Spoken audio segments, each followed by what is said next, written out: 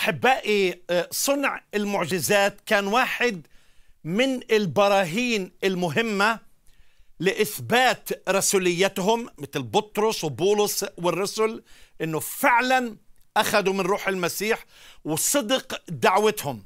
مثلا خليني أقرأ من رسالة بولس الرسول إلى أهل روميا إصحاح 15 وخليني اتكلم من آية 18 لأني لا اشسر أن أتكلم عن شيء مما لم يفعله المسيح بواسطتي لأجل إطاعة الأمم بالقول والفعل. بقوة لاحظ بالقول والفعل بقوة آيات وعجائب بقوة روح الله. حتى أني من أورشليم وما حولها إلى الليريكيون قد أكملت التبشير بإنجيل المسيح. وفي كورنثوس الثاني إذا بتلاحظوا معي في آية شبيهة الرسول بولس عم بدافع عن رسوليته لدعاة التهويد. وعم بيقول أحبائي في آية 12 إن علامات الرسول صنعت بينكم في كل صبر بآيات وعجائب وقوات.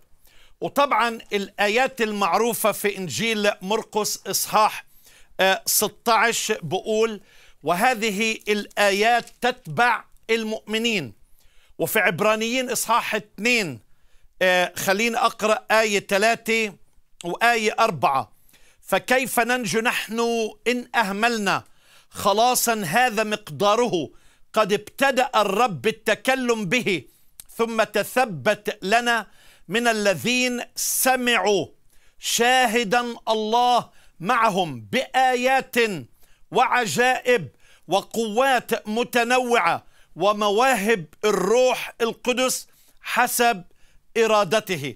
فلاحظ هاي الخدمة الرسولية كانت مؤيدة بالآيات التابعة. شفناها في إنجيل مرقس في رسالة روميا في كورنثوس الثانية في عبرانيين إصحاح اثنين طبعا.